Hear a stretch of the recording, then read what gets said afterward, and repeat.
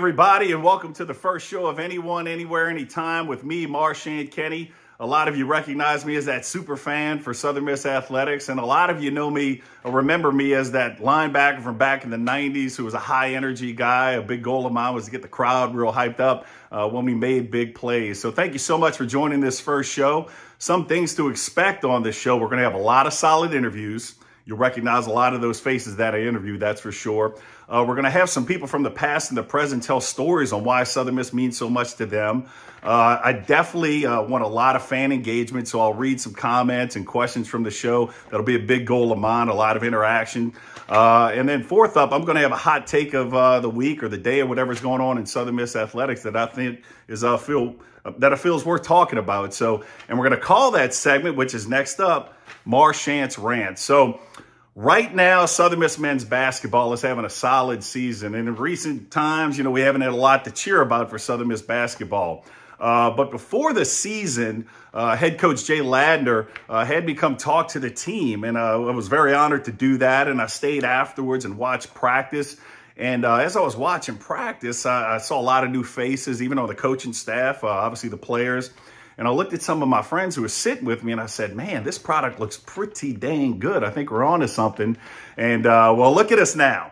Uh, we're 21 and 4, first place in the Sun Belt Conference West, and we got a big game coming up at Reed Green Coliseum this Thursday against the Raging Cajuns.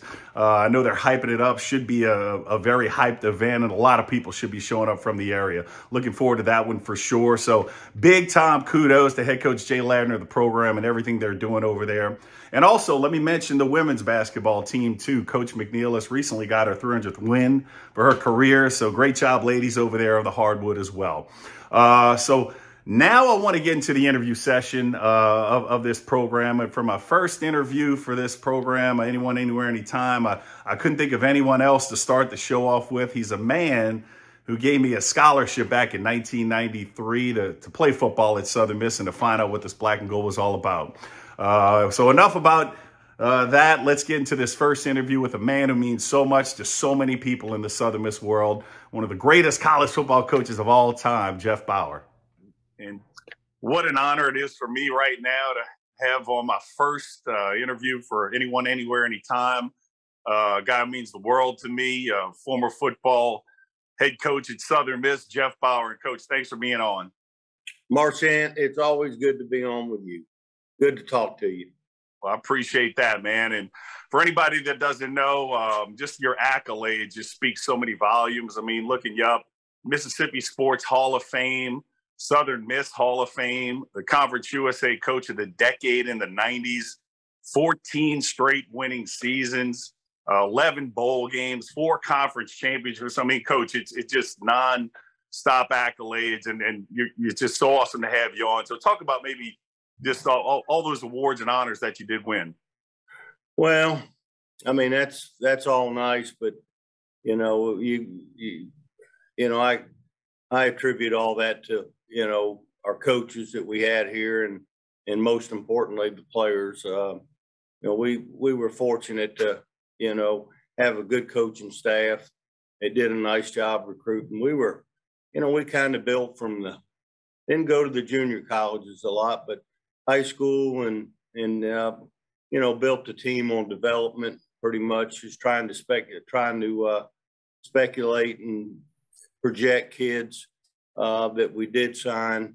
I could go through so many of them that we had that you know weren't really recruited highly at all that became really good coaches and a number of them go on to the nfl but um, the players uh, but it's um, it's um, it's good coaching, good players, and um, it's all about people. When you hire good people and you surround yourself with good people, um, good things will happen.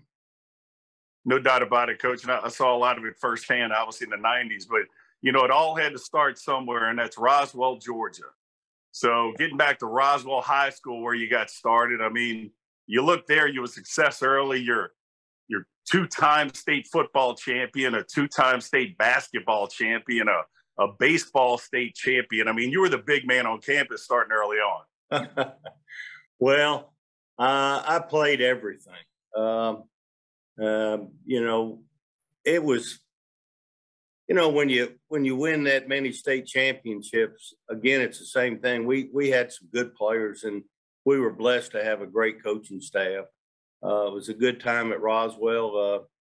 Uh, um, you know, my senior year, uh, I didn't play basketball my junior year, and uh, the co- coach kind of recruited me right after we won the state championship uh, my senior year, and and I went out and played basketball, and took me a few games where I before I became a starter, but um, you know that was uh, you know that was to me. I, basketball wasn't my best sport.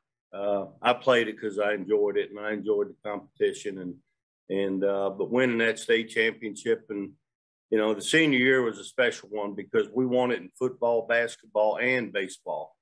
Uh, I don't think that's ever been done in in the state of Georgia. So that was that was quite an accomplishment.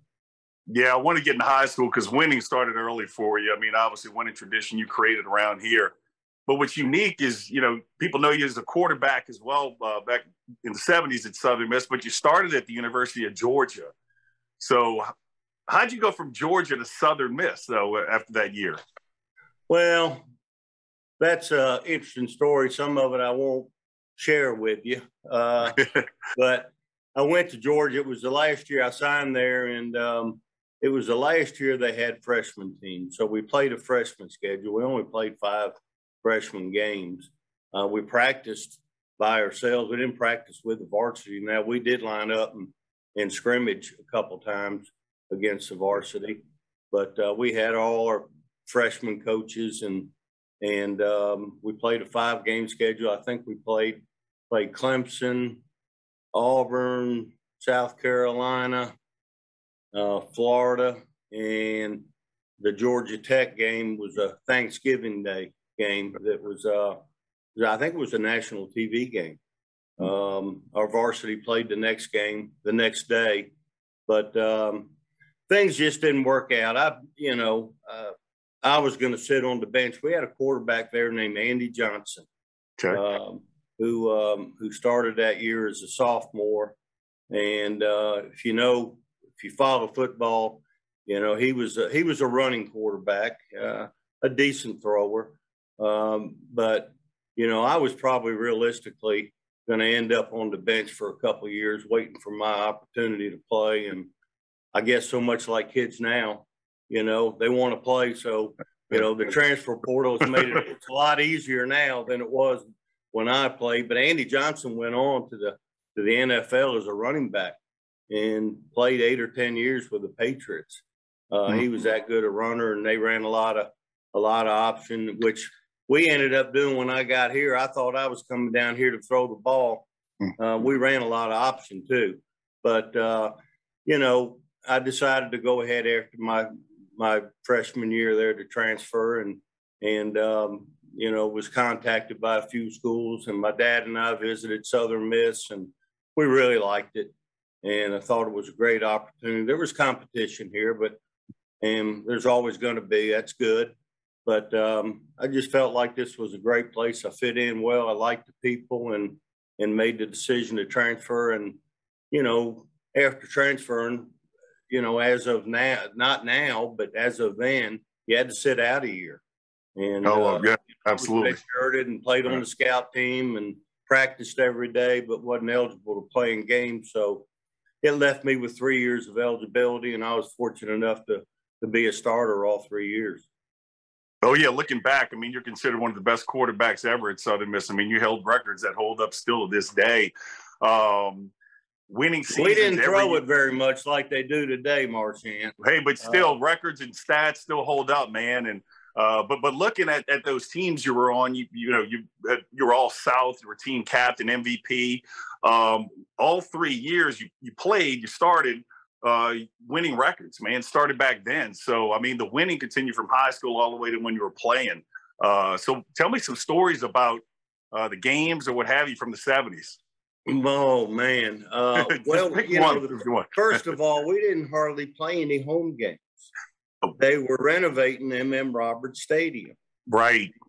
I remember when I was being recruited in the transfer process, um, Coach Underwood, P.W. Underwood, was the head coach, and he said, "Oh, by the time you're eligible after your redshirt year, we're going to have a brand new stadium and blah blah blah, and here's who we're playing and this and that." Well, they started construction a little late, and um, I think my freshman, my sophomore year, um, we played it. We played at home three times in the old stadium, and then the next two years we were on the road every week.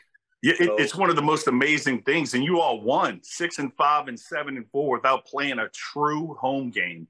I mean, one of the most amazing things. You talk about grit and Southern that, grit. There that's you go. hard to do. That's yeah. hard to do. Now we had some some uh, uh, two or three games that were so-called home games, but I think we played in Jackson one time. We played in Mobile uh, one time. I think we played my senior year. We played homecoming on the uh, Gulf Coast um, at a stadium there. Can't recall the name, um, but those were not really home games. I mean, uh, but I mean every. Um, I got Debbie sitting over here with me, so she was a big part of that. She was, you know, of my life back then. We we we met when I was, uh, I guess, my my sophomore year when I became eligible yeah. was when we first met, and she was a cheerleader. And uh, yeah, that, that's a great subject. I mean, you're the all-star quarterback. She's the cheerleader. It's a match made in heaven, man. And y'all are still a power couple, power couple to this day. So yeah, more details how you met, if you don't mind. Well, she's wonderful most of the time. Now we did play at Mississippi State one year. I got to tell you this story. Okay. You just triggered this. Uh oh. Um, we're playing at Mississippi State, and we're staying in um, Columbus uh, the night before the game. Debbie's up there. The cheerleaders are there. They're staying there also at the same hotel. We go to the game the next day, and somebody comes up to me at the stadium and says, um, Debbie is calling and she can't find the keys to her car. Oh, good. She's at the hotel. Oh. So Debbie, didn't they send a uh, was it a helicopter? Yeah, they sent a helicopter to pick her up. Wow. Yeah, and uh, you know, it didn't bother her that I'm out there on the field pregame warm up, and I got some a cop coming up to me and say, saying your your girlfriend's stuck. Do you have the keys to the car? I said, no, I don't. Uh, why would I have the keys to the car? I went up there on the bus. She drove up there, but anyway, they helicopter in. Um, wow. And uh, uh, I, I, think we tied the game 10-10 with State, so uh, didn't put enough points on the board. I blame it on her. wow we'll have to talk off camera about that game too a little bit more. But uh, that's man, not that's the awesome. only time that she that we had to get the police involved. Uh, one time we we got a police escort to Jackson. Wow. Um, and the lights were on. She was telling me the whole time they never stopped, had all the roadblocks at every intersection, this and that. So she's high maintenance, Marchant. Always has been high maintenance. oh man, I love it, man. You two together, I, I, just love it, man. I can't, I can't get enough. That's awesome, man. and what an awesome story. Like I said, you two just a power couple in, in Hattiesburg, and oh, always have been, always will be. So you, you finish out at Southern Miss your playing career, and then you get to be a GA at Southern Miss. What was coaching right after like? You know, coming from being the quarterback. It was good. You know, I I um I graduated um, and I had an opportunity to be a go with the Detroit Lions as a free agent, okay. and I had to make a decision between that or you know start my uh, so-called coaching career, uh, being a GA. And uh, I wanted to get a master's degree, and I wanted to coach. Okay. You know, I mean, sports were in my blood. That's all I ever done growing up, and and uh, so Bobby Collins offered me a grad assistant job, and and um, I took that and uh, two year stint of doing that. And Mack Brown uh, happened to be he came with Bobby my senior year, of new staff. Bobby took over the the head job then, and Mack Brown he hired as an mm-hmm. assistant coach. And after my second year as a GA, Mack had left. Mack left to go to Memphis, take a, a job there, and Bobby offered me the the wide receiver job. And um, so I was just finishing up my master's in business and uh, got offered a job. Debbie got upset with me. We were scheduled to get married. We did get married uh, in June. I took the I took the job. I think in uh, February, March, I believe, and um, I took it. Bobby offered it. I accepted on the spot. Uh, called Debbie up. She thought I was going to take a job with my master's. I had mm. Interviewed with some companies there, you know, in case coaching didn't didn't pan out. I didn't have an opportunity to do that. And I called her up and said, "Guess what? I got a job." She said, "Good. Where are we going to move?" I said, "We're going to stay in Hattiesburg." Oh, she neat. said, "Hattiesburg," and I said, "Yeah." I took a job as assistant coach on the on the on the staff, coaching the wide receivers. A lot of silence, Marchant. A lot of silence. oh, that's neat, man. He got over it and loved it. And wow. you know, we loved the coaching profession. We had, you know, a lot of great times and and we love Hattiesburg. Oh, that's great. And a unique deal right there when you got right after your playing career in the Southern Miss. I mean, you had just finished playing quarterback, and a quarterback named Reggie Collier is there. So how was it like, you know, interacting with Reggie Collier with two quarterbacks, you know, from a coaching uh, player perspective? Oh, it was fun. Um, you know, I coached the receivers the first couple years, and uh, then Bobby elevated me to the quarterback coach, and and I had an opportunity to coach Reggie for two years. Mm. And um, wow, what an athlete! What a dominant, the most dominant football player I've ever seen on, on the football field. Um, you know, his he was a good passer. Um, but he was a tremendous runner. Um, and, uh, you know, a chance to coach him. I remember we were, we were, um, we were playing, I think it was Texas Arlington. It was a home game. And I'm in the box during the game with our, our offensive coordinator, Whitey Jordan. Um, and the opening, we get the ball on the 20 yard line, the first possession of the ball game run a little dive option, a triple option, and and um, you know Reggie's job is to read the tackle, pull fullback dives, and if it's you know no give there, pull it and go to the defensive end and either pitch it or keep it, but attack the inside shoulder, the defensive end.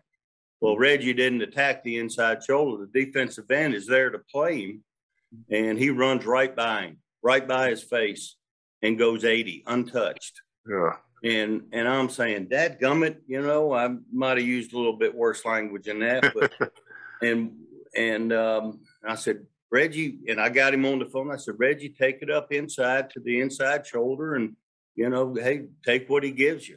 And we had a running back named Sammy Winder, pretty good. Okay, pretty you good. Sammy was our pitch man, and, wow. you know, and uh, so anyway, we get the ball back, and it's on the 20 yard line again.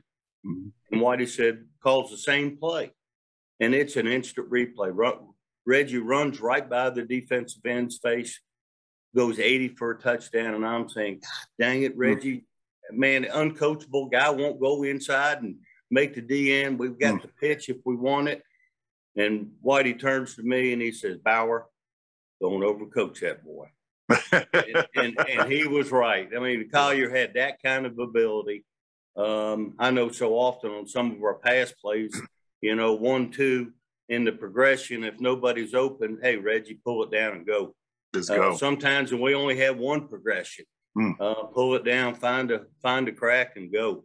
But he was, uh, I, oh, I talked to so many defensive coordinators saying that, you know, he was the most difficult guy to game plan because, you know, of his ability to do both, you know, throw and run. And um, you know, he was a um, big time athlete, big time player. Oh, what a cool dynamic! You two uh, working together like that. So had fun with some... him, and still and still see him. And uh, oh yeah, wasn't a very good golfer that, that back then because I did play some golf with him, and uh, stiff as a board. I said I thought you were a better natural athlete than this, but uh, he's good now. I think oh. he's about a four or five handicap. All right, look at Reggie. yeah, he'd be giving me strokes now, Sam. That's good stuff. So, so Southern Miss coaching uh, finishes up right there. You go to SMU, you go to Wake Forest as quarterback coach, but you get blessed. You know, Curley Hallman is the coach from 88 to 90 at Southern Miss, and you get an opportunity to come back to Southern Miss. So, what's that like to just come full circle back to Southern Miss? Oh, it was, uh, it was, it was, you know, I wanted to be a head coach and, and, um, you know, um, made those moves as you mentioned, SMU, and then I went to, uh, well, I came back with Curley and, and, um, you know, which was a, a great experience because we had Brett Favre. And, uh, you know, I, um, you know, I had Brett as sophomore and junior year, and um, you know, obviously, what a talent and oh, what a competitor.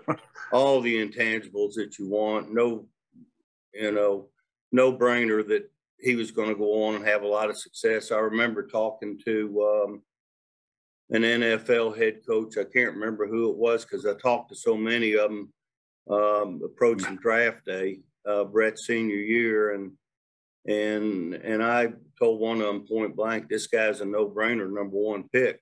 Hmm. And um, he didn't get picked number one. He got picked first in the second round, but goes on and has the career that we all know about. But uh, you know, you don't get an opportunity in a in a coaching lifetime. Very few have to coach a Reggie Collier and a Brett Favre.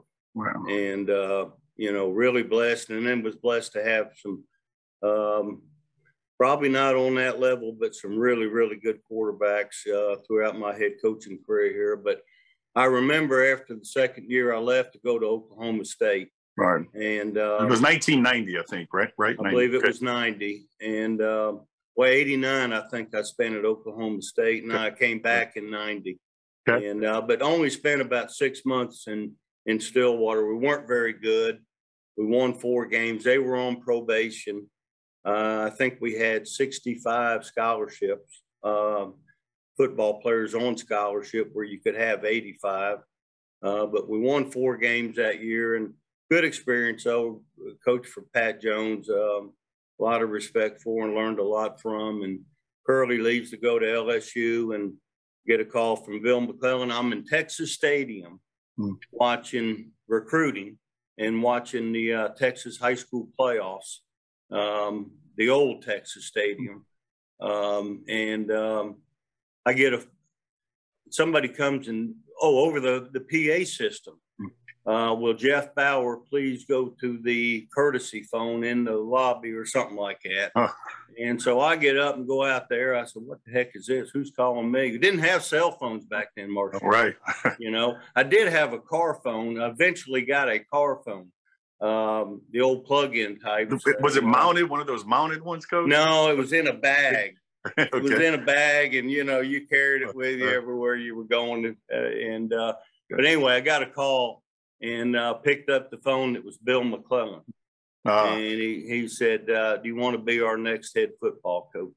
I had already come out here and interviewed, been through that that stage and everything. And uh, Curley went to LSU right at that Curley point. went to LSU and and I said yes. And um, in fact, um, I called Pat Jones up. Um, I can't remember. Probably after that game, maybe I got back to the hotel and said I, I'm going to take the head job at Southern Miss. He said that's great, and uh, he said when you going? And I said, well, they want me down there tomorrow, so um, I got to find a you know coat and tie and stuff like that to uh, do the press conference, and uh, he he made a special trip to come down there. It's about a I don't know four hour ride from Stillwater, and and brought me a coat and tie. Debbie packed a bag for me, and she was coming too. And uh, heck, we flew to to Hattiesburg and accepted the job. That's fantastic. And the, the first game you coach is the 1990 All American Bowl, Brett Favre's last game. And um, I mean, that's that's your first game, and how neat was that, man? Because that's going to a bowl back then. It's not like now. There, there, you know, tons of bowls out there. Going to a bowl game was a big deal. And um, yeah, how was. was it your first game? You're coaching a bowl. yeah, and and I didn't get them there, but they they gave me an opportunity. I'd only been gone a year, mm-hmm. um, actually six months out of the program pretty much. And and Bill said, "Do you want to coach the bowl game?" And I said, "I'd like to. I know all the players or most of them."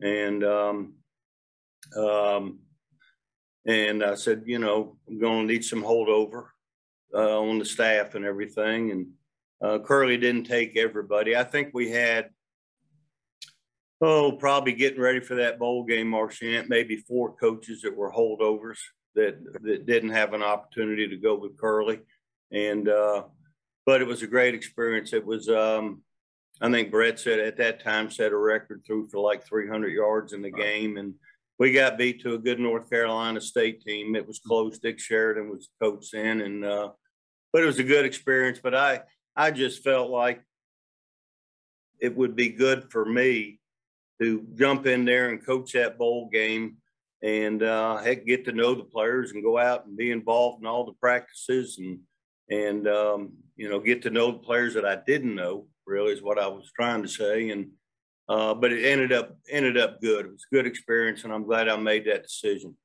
No, very neat, and and obviously, I mean, I don't know where to begin. Then your your career goes from 1990 to 2007.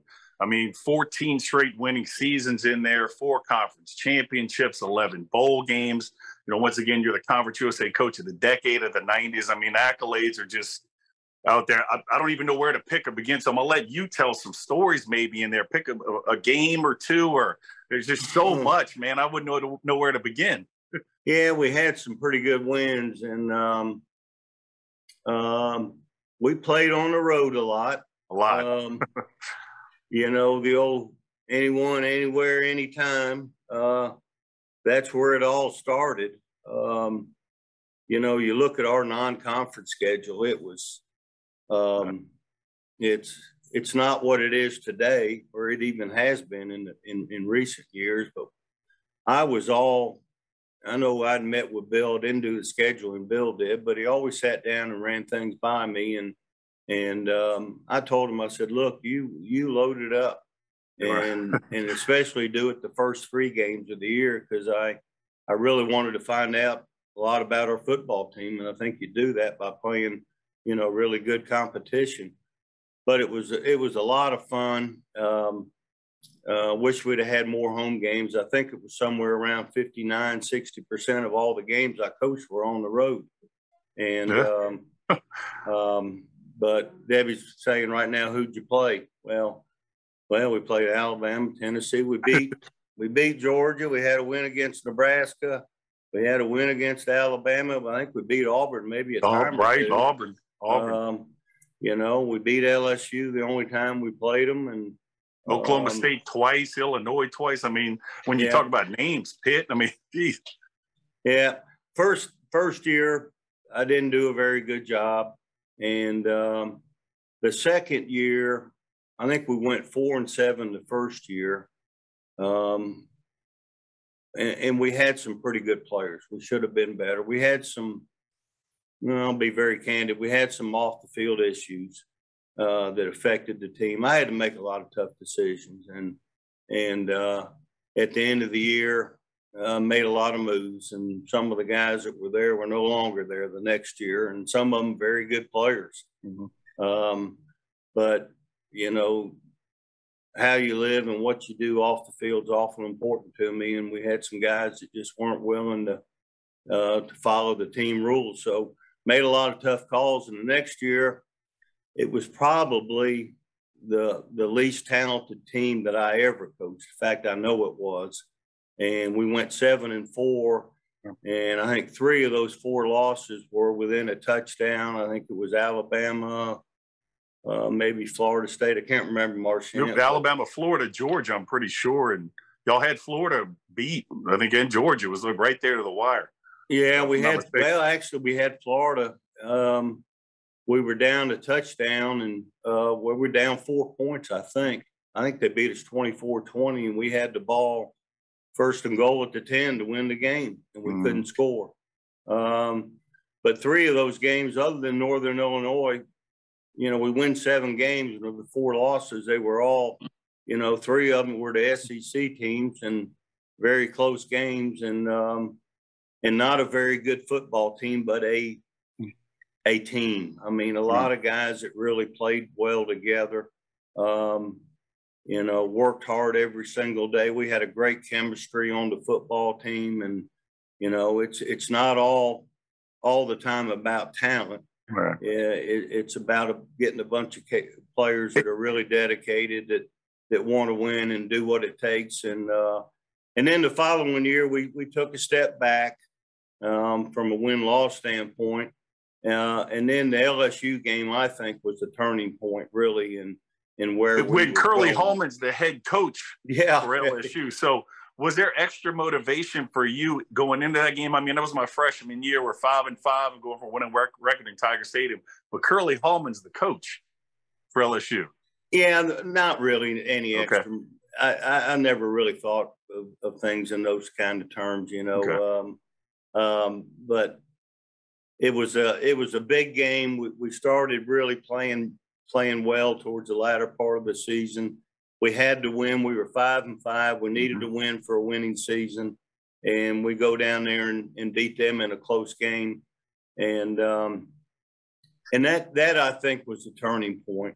We got a lot of confidence from that game. Uh, everything was was good around here. The attitude, the mm-hmm. the you know the the team, the chemistry. I use that word a lot, but um, from that point on, we were pretty darn good. And uh, from that point, 94 all the way to 90, 2007, that's 14 straight winning seasons. That LSU game, a lot of people look at that as the turning point for the program, really kicking things off. You know, 95, 96, we get in Conference USA, finally getting to a conference and uh, getting to kind of that 97 season. So uh, Conference USA you know, was a big turning point for us. But you hit on something with um, chemistry. I mean, you dealt with a lot of characters. I think I might have been one of them too. But how do you get all these characters on the same page and build chemistry? How do you do that? That's magical for a coach to do that, man. I can't remember how we did it. Uh, no, we had team rules, and you know, we had a you know a standard of conduct, and and and uh, I didn't bend a lot. You know, I mean, uh, I was a second chance guy a lot, a lot of times, but there were certain things that. Um, you know, if, if it was detrimental to your program and, and, um, you know, and if it was somebody that really didn't need to be here, that, that it, it wasn't good for us and, you know, going to make a change. And uh, you hate to do that, but you do what's best for the team. And, um, you know, um, sometimes you, you know, again, you just got to do that. Um, um, you, you know, you, you, had said something about stories. I, I was going to bring up a, a, story about Pete Antonio. Okay. Uh, do you do you play with Pete? Uh, walk me through Pete one more time. I think, the story you get. I think Pete might have been a little bit after you. He came. Yeah, because I know these names sometimes. But yeah, and we had a lot of walk-ons. Um, you know, our staff did a great job recruiting. Um, you know, but, but give us a Pete, Pete story. Give us a Pete story. The Pete story was that we're playing Tulane here in MM Roberts Stadium, mm-hmm. and we got like a three touchdown lead, and it's in the fourth quarter, maybe early, something like that. And things are going good, and Pete's a defensive tackle, and all of a sudden there's a little skirmish out there in the field, and things are getting a little heated, and then it turns out a little bit worse, and there are a few punches thrown, and this and that. Well, when the dust settles, um, you know, flags fly and all that. And Pete and the Tulane player are ejected from the game for fighting. Mm. And Pete's all fired up and pumped up. Pete was an intense guy, mm-hmm. good player, and and um, I'm sure he tried. To, I'm sure he hated to come over and meet me at the sideline, but he did. and when he got there, I said, Pete, what the heck happened? He said, Coach, he called me a effing Mexican and it was all I could do to bust out from laughing. I said, "Hit the bench there, Pete." And I, I mean, I absolutely lost it after that. I laughed, and uh, I, mean, I, can't say the word, but an effing Mexican, Pete's Greek. Oh uh, goodness! And I told Pete, I said, "Those Tulane guys, uh, I don't know what that that academic requirement is to get in that school, but that guy, uh, he slid by somehow." Oh goodness gracious, not cool right there, man. so fighting words. Oh, and um, I like Pete, and I talk to him occasionally, and he stays in touch. Uh, he's done extremely well. Really proud of him. That, that's fantastic. And um, so, yeah, kind of mid 90s right there. Things are kind of rolling along for us, getting to be top 20. The 97 season, I'd love to bring up. Uh, our first two games are playing at Florida, defending national champions. Almost get them. This is my senior year. Uh, Illinois, you know, we win that game on national TV. Things are rolling along. We're looking pretty good. You got things cooking. Um, you know, you were a father figure to a lot of us. I mean, especially me. You know, I was, you know, my story is raised in a boys' home. I had no brothers, sisters, and you know, Southern Miss was a total family atmosphere to me. Um, your daughter, Kristen. I mean, she she was special to the team. She's like a little sister to all of us. Um, you know, the week of the after the Illinois game, you know, um, you get you get horrible news of her of her passing. Um, you know, this is where you know you you take on a deeper, newer meaning to a lot of people and um, you, you, you treated us like family and, and, and stood there and still coached us despite, despite dealing with one of the toughest things a father can deal with. And um, but you know the loss of Kristen um, in that '97 season, um, and you you still being a father figure, coach, mentor to all of us. I mean, if you talk about just that week. Oh, the hardest week I've ever been through in my life, and my wife and my youngest daughter Stephanie. It was uh, mm, uh, I mean it's you know I could say a lot of things, but it's hard to explain. It was um, um, oh it it was bad, bad, and um, you know things like that happen. Um, you know, but when I, you know, when you you you think about things, uh, you know, I I thought about obviously my family was most important to, you know, to, to kind of get through or help get through that time.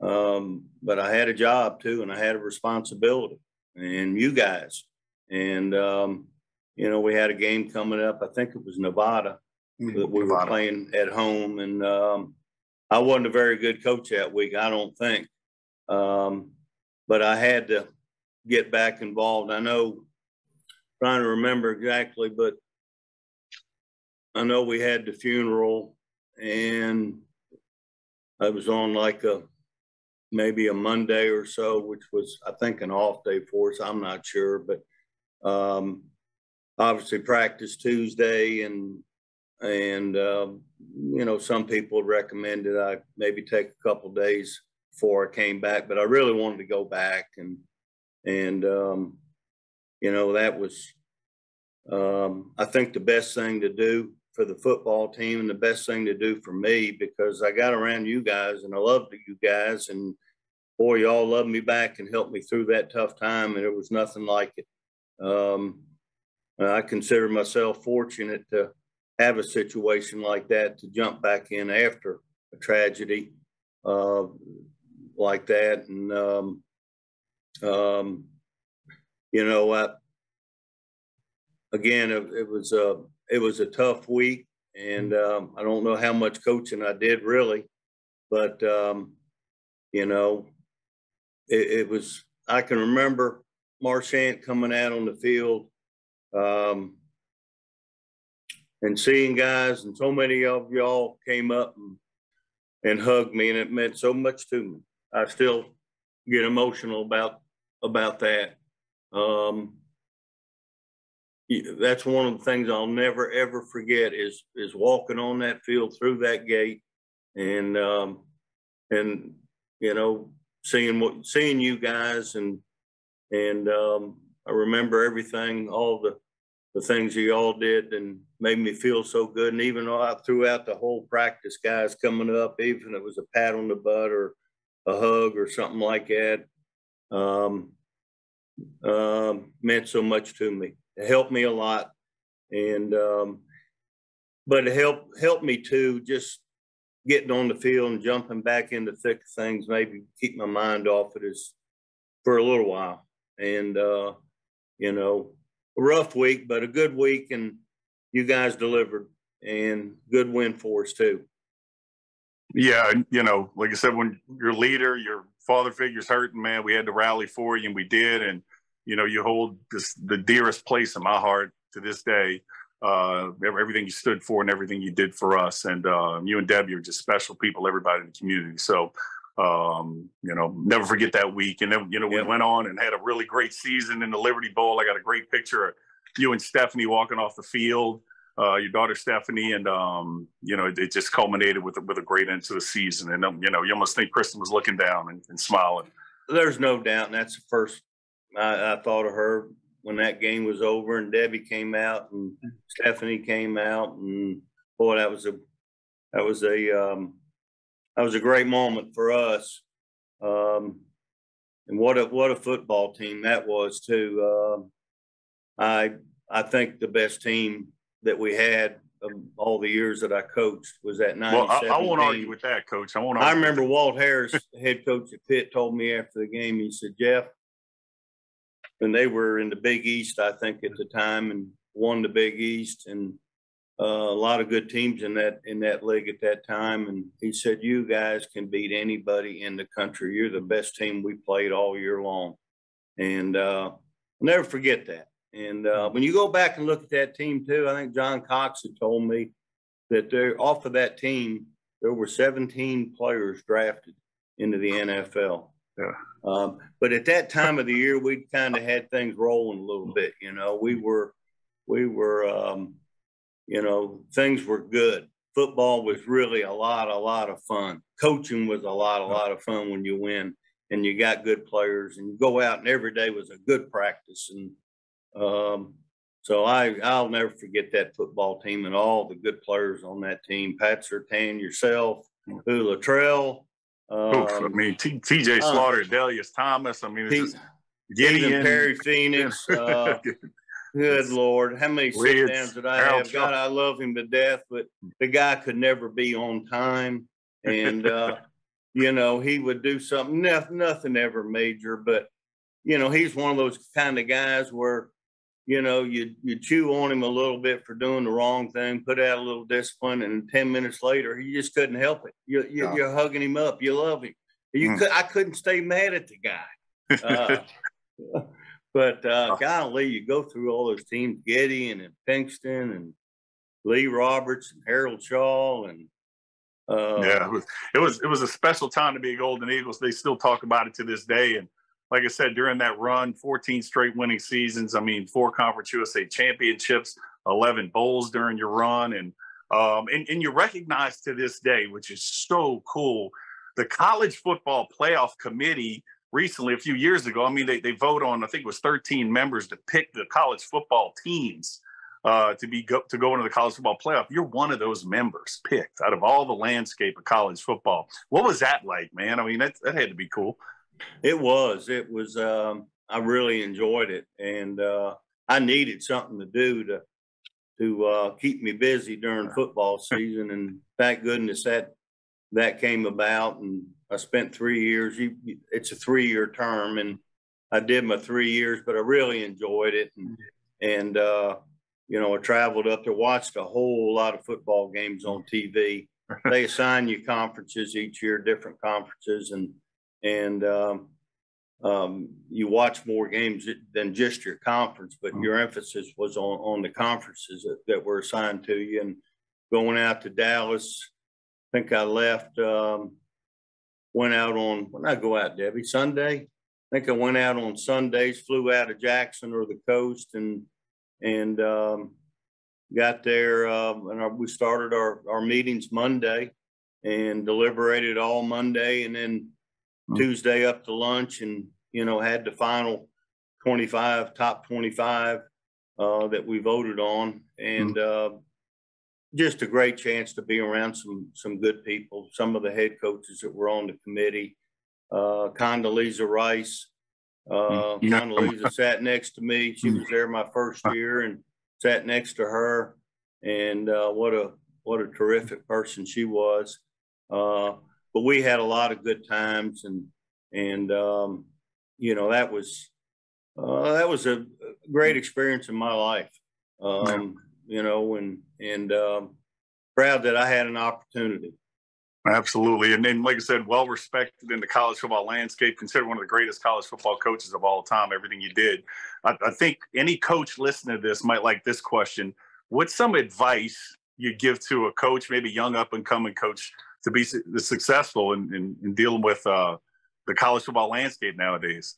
Oh, I don't know if I, I don't know how to deal with the current landscape. Uh, we were just talking about it um, not long ago. How do you, you know, to me, the major job, I mean, it's always been a, a responsibility managing your roster, but how do you do that now as a head football coach when, you know, with the transfer portal and guys coming in and out? I know I talked to Will Hall last year at one time um, and called him. He and I touched, we touch base on a regular basis. And, um, and I said, what are you doing this week? Aren't you supposed to be out recruiting? He said, yeah, we're supposed to be out doing our, our you know, the junior recruiting. And he said, but I'm going to keep the staff in and we're going to re-recruit our players, you Mm. know, uh, because of that transfer portal. Just, you Mm. know, be around your kids, talk to them, get a feel for, you know, somebody leaving or not, you know, but you want to hold on to what you have. Uh, but at the same time, you need to, um, you know, if things happen, you got guys leaving, um, you got to have a backup plan. And Right. it's difficult now, I'm sure, as a head coach to manage a roster with guys leaving. I think the transfer portal opens up again Hmm. um, after spring football practice, and you're going to see another wave of guys go. And Yeah. that's more headaches for the head coach. Uh, I didn't have to deal with that, thank goodness. But uh, no, it's it's totally a different landscape now. It's uh, it's changed the NIL.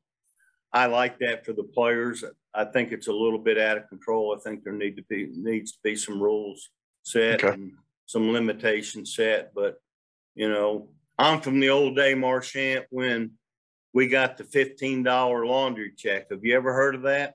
Oh, the, the, was that just the? If if you were a scholarship athlete, you were eligible to get a fifteen dollar, and they called it the Oh, laundry check, a, a month, once a month, and we thought that was good money. Uh, Of course, you could buy gas for like forty cents a gallon back then too. So uh, yeah. you know, it'd go further with today, but uh, no, it's uh, it's it's a it's a. I was talking to somebody about that Florida quarterback here recently, not Florida, but he a, a, a recruit that had committed and had a 1.3 million dollar Hmm. NIL deal. that Florida eventually reneged on. Don't know the the story I saw behind that. Yeah, That's but uh, um, but I, I think one of the things too you're asking about just helping young coaches. I, you know, I, for the most part, a lot of times had a young staff, and um, you know, you got so many responsibilities as a head coach. But I was a young coach at one time, and I remember Mack Brown really helped me a lot, Mhm. um, and uh, some of the other coaches on the staff, uh, Whitey Jordan. Uh, Whitey was, oh Lord, Whitey and I sat up in the press box for years Hmm. call, calling plays and uh but I was very close to him and uh I think a head coach has got that responsibility and uh um Right, you know it's a rewarding profession. Absolutely. Um, Coach, kind of getting to a little bit of a close here. Uh, you know, you're a beloved figure in the Southern Miss world. I mean, you know, people just love you, want to bring up your name. Uh, Not what- all what- the time was I well, you know, when I, and I was around telling me, they, around me, I remember the Rice game. We were down to our third team quarterback, Oh. and um, um, we play Rice out here, and we throw. We got six. We turn it over six times in the game. We drop a two point conversion at the end of the game to win the game. We ended up having to play our backup quarterback, who had not even practiced all week Mhm. because the third teamer got hurt. Anyway, they had for sale signs in my yard after the game. So Oh, I'm not beloved gracious. all the time. oh, that's goodness, that's part of it. Well, you know, look, looking back, maybe there were moments here or there. I mean, shoot, we lost some games in the '90s, but man, looking back, the body of work, it, it you know, it, it it speaks for itself. So, uh, is there is there like a closing message you want to say for the Southern Miss fans who'll be watching this? Because uh, I know this is one of those you might be interested in. Oh, I would just close a message. First of all, I'd just like to say thanks for the, all the support. Um, it was great, and I had a, you know, I so much enjoyed my career, and what a better, not a better place to live than Hattiesburg. But you know, all the you know the the friendships and this and that, and the, thanks to the people that that that supported our program, and we need more of them to come out, Marchant. I think we got. I know we got the right guy uh, at the helm right now in Will Hall. I like Will. I like what he's doing. I like that he's he's um, um, a lot of the same philosophies that that that I had. Uh, go recruit high school players and develop them, and you know, so many of the guys that we had, not get like we talked about, not highly recruited, um, but you know, you develop in a year or two, they become really really good players, and and I think that's what you've got to got to do here. I think we went a little heavy on um, on, the junior college recruiting. I did some, but and I think you have to some uh, for immediate needs. The transfer portal helps with that now, but um, I think Will's going to do a great job for Southern Miss, and we need to fill that rock up. Uh, you know, even we were so good in '97. I looked at some of the the attendance the other day. Uh, it was pretty good, but it wasn't what it ought to be. And, right, uh, right. Well, we we just need to uh, people need to get behind Will Hall and, and support this program. It's uh, but it's on the rise. I think we got the right guy.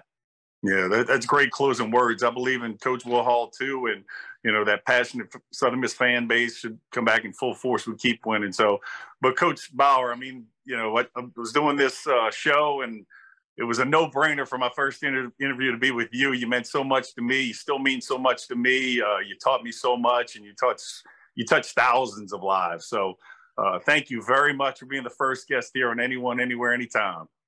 Anything for you, Marchant. And um, oh. I've really enjoyed this. Good, good to visit with you. Yes, sir. Always. Thank you. To the top. All right, Chant. I can't begin to tell you how much I enjoyed that interview with Coach Bower, a man who means so much to my life, even to this day. So hopefully you enjoyed that interview right there. Uh, next up, we're going to have another familiar face to a lot of Southern Miss fans. Uh, it's going to come from a guy who played in the NFL for years. He won the Conerly Trophy while at Southern Miss for being the, the best college football player in the state of Mississippi.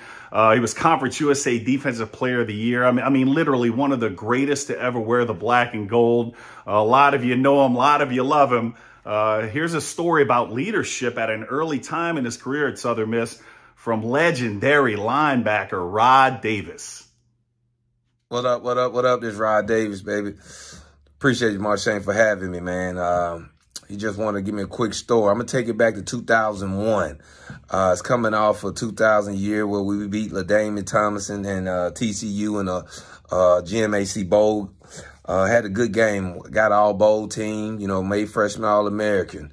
You know, coming into that next year, 2001, I just want to play my role, do my job, and be there. But the first meeting, defensive meeting, Coach Tyrone Nix got up and said, man, we need our leaders to step up and lead this team if we want to be great like we were last year. So, you know, I started looking around, man, the leaders need to step up so we can uh, get this thing going. You know what I mean? And that's what I'm saying to myself. And as I turn back, Coach Tyrone look Nix is looking dead at me and uh, Chad Williams. And he said, y'all are the leaders. Y'all are the returning two starters that, uh, that, that played the most football. And I was like, well, man, hold on that ain't the that ain't what the role I want. I just want to play my role. I just want to do my job at middle linebacker and, and, and, just go make tackles. I ain't trying to really lead nobody. It was like, you know, after that meeting, he brought me in there and said, man, we need you. We need the leaders to step up. We need guys to uh, to to look at you toward leadership and doing the things the right way. You and Chad got to lead us back to greatness, man. And uh, it was one of those humbling things, but I was scared. I, I, I, was I was very scared, man, because in my freshman year I just had to play my role, and now they getting thrust into a leadership role, man. So it was very demanding, but uh, it was very fun, and I and I appreciate Coach Tyrone Nix and Jeff Bower, you know, empowered me with that, and it it it it jumped I, I, guess my career because I started thinking about more about the team than myself, and that helped me become a better player, and then that be, helped me become a better teammate. Southern Miss to the top, baby. Appreciate you. Out. Thank you, Marchant. What a great story from Rod Davis. Thank you so much for sending that into the show, Rod. Uh, I said earlier in the show, we're going to have a lot of fan interaction. Going to try to get to your comments, questions, whatever you have about the show. And uh, on Twitter recently, I asked the Southern Miss Nation, I said, What do you love most about Southern Miss? And I had a lot of comments come in. I really appreciate that. I can't answer all of them, but I picked four that I think really uh, encompass uh, what Southern Miss is all about and what we love about Southern Miss so much. And first up, Attack Eagle commented the community aspect, easy to get to know a lot of people from all ages. Everybody is family from the top down. Our leaders, coaches get to know the people that make up Southern Miss. It's not a business like a lot of schools these days. As Coach Will Hall says, it's real here. Love that comment, Attack Eagle. Next up, Avery Nobles retweeted something that Southern Miss men's basketball player DeAndre Pinckney tweeted recently after a home game. Uh, DeAndre said, after the game yesterday, I gave away a signed pair of game shoes to a kid, and I could just see the excitement on his face. I would have never been in the position to do that if I would have been anywhere else. Thankful for it all. Great words, DeAndre Pinckney. Uh, and you're my wife's favorite player. We love to watch you play, man. Appreciate all you do. Uh, next up, Lori Brechtel added why she loves Southern Miss so much. Here in Mississippi, even in high school, there is such peer pressure to go to root for other state schools. No shade to them in parentheses, which she puts. As a natural result, USM is made of audacious people that intentionally choose not to follow a crowd. My kind of people. Love those comments, uh, Lori. Southern Miss is my kind of people for sure. Uh, and then Jason Bailey, many of you know him of the To the Top Talk podcast, which is a great show. Uh, he says it's been 100 years or so of never being given a chance and 100 years or so of proving them wrong.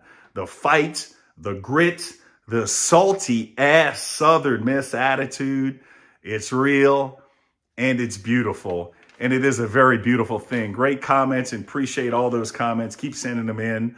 Uh, and and kind of now we're getting to the end of the show, and that's it for the first show of Anyone, Anywhere, Anytime. And I uh, appreciate you tuning in. And all I ask, help spread the word about the show. You know, hopefully you like what you saw. So uh, until next time, until every Tuesday from here on out, as always, Southern Miss to the top.